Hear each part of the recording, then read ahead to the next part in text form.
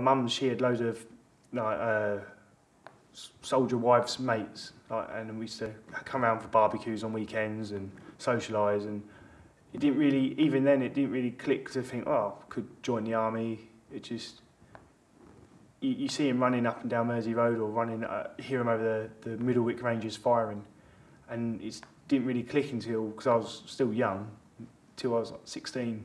So I thought I'd, I'd give it a bash.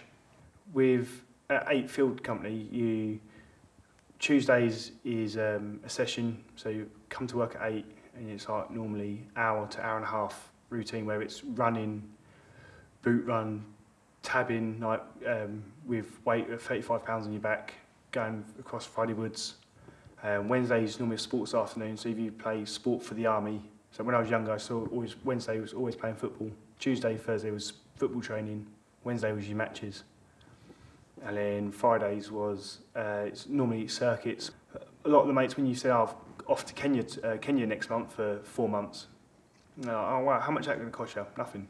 It's part of work.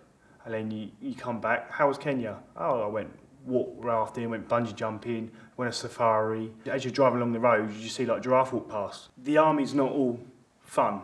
You do get times where I've had um, my room in Iraq blown up um, I was meant to have a day off from work, so and then you get called in, and your boss says, "Oh, you got to change an engine on a tank." So yeah, you're moaning, that you oh, change engine on a tank. So while you're undoing the bolts, a rocket goes over your head.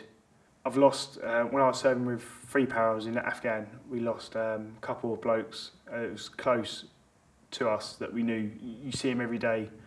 When I was flying home on my R and R flight, he put us on the helicopter, flew back, spent the night there, next day, been blown up. And he was like, oh, you only saw him yesterday, he was fine, laughing, joking, saying, I'll see you in two weeks' time.